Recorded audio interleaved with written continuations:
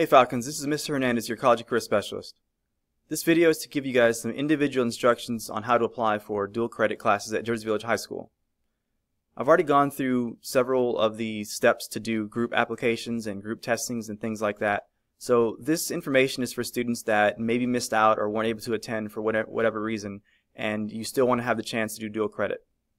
Um, you do still have the chance to do dual credit um, even though we have about, about a month left of school uh, to go. But um, you'll need to complete a lot of these steps on your own and then meet with me uh, towards the end. And I wanted to give some information out that way when I have students coming to see me, this will be an easy way for you guys to access that information. So really quick, the process uh, looks like this. Um, you get yourself a Lone Star ID number from doing the application. Uh, you make sure that you meet testing standards based on whatever classes you want to take. Um, complete a registration form for Lone Star College, turn that in to me. Um, sign up for the Dual Credit Remind uh, group so that you can get relevant information on dual credit as I send that out and then make sure and pay for your classes before we come back in the fall. So on the Lone Star application, the best thing to do is to email me um, your name, your uh, CyFair ID number, and just let me know that you um, need to do the Lone Star application for dual credit. I'll send you um, a few documents um, so that you can look at uh, any information you might need. So um, the first thing I'll send is going to be the instructions to do the application online. It'll have the link, it'll tell you step by step what you have to do, and it'll walk you through the whole process. So just make sure and send me an email um, at eric.hernandez3 at cfisd to get that info. Once you complete your, your application at the very end, you're going to get your username for Lone Star and your uh, Lone Star ID number. It's really important that you um, write this down, take a picture of it, and save it because you'll need to use this every time you do something with Lone Star. Um, if you need testing, and you'll find out in a little while if you need testing, I'll send you a document to so you can see if you need testing or not. Um, you're going to have to take the pre-assessment activity through your Lone Star account before you can take any TSI test with Lone Star. Um, if you meet requirements for the classes you want through some kind of other testing, like Aspire, ACT, or SAT, then you might not need to take the TSI and you might not have to do the pre-assessment.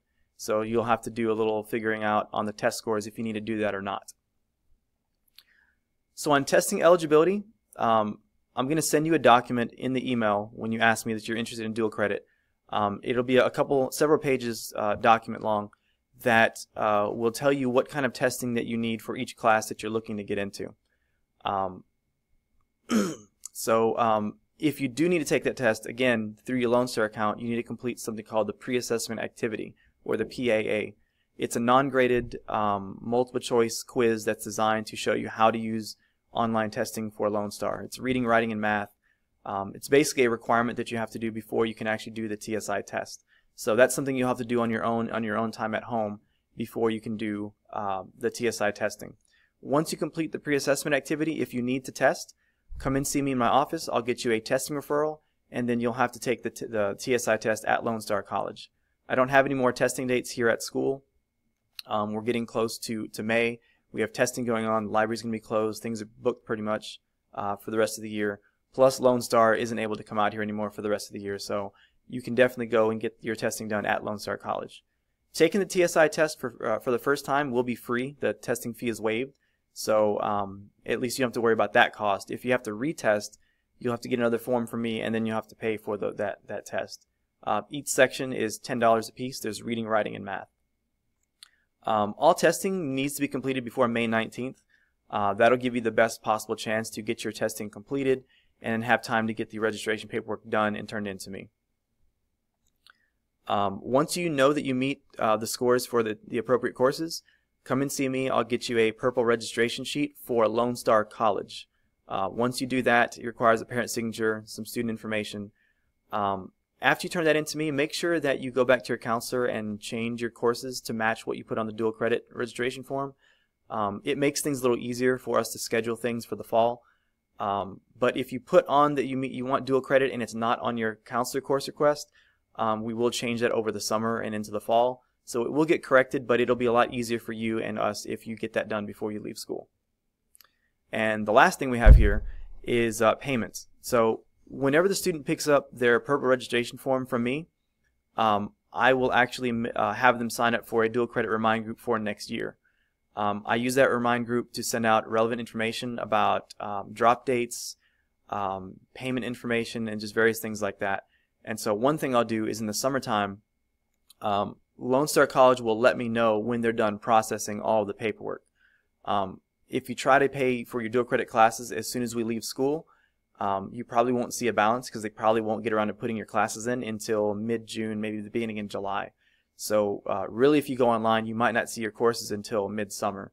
Um, and then it takes them a while to process the uh, the dual credit waivers to make your uh, your your tuition lower than the regular college student. So there might be a period of time in the summer where you might have a, a regular balance of two to four hundred dollars depending on your classes, but that will go down um, after they put those waivers in. And so after they put the waivers in, that's when I'll notify students, hey, now's the time to pay, and I'll actually send you guys documents um, with visual instructions on how to make your payment so that it's easy for you guys to understand. Uh, just make sure that you can log into your account. That's the number one thing that you need to be able to do uh, before you leave school for the summer. If you guys have any questions, send me an email.